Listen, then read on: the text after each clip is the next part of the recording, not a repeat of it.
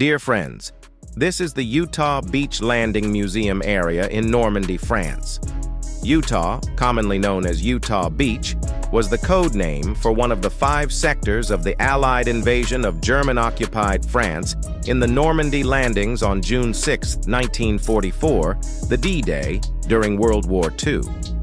Amphibious landings at Utah were undertaken by United States Army troops, with sea transport, mine sweeping, and a naval bombardment force provided by the United States Navy and Coast Guard, as well as elements from the British, Dutch, and other Allied navies.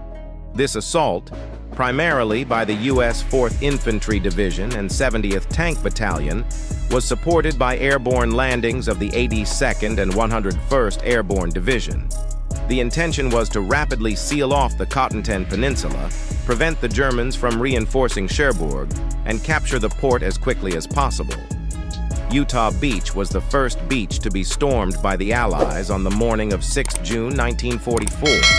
At the end of the day, more than 23,000 American soldiers landed to fight a titanic battle and liberate France.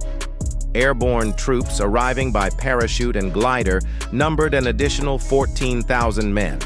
The Utah Beach Landing Museum and other monuments in the area preserves the memory of these men. You can also see and enter some of the bunkers built by the Germans in this area. So, dear friends, while inviting all of you to see the sacrifices made by heroic soldiers at Utah Beach to liberate France, I will end my explanation here. I will see you soon in another video on Beauty of the World.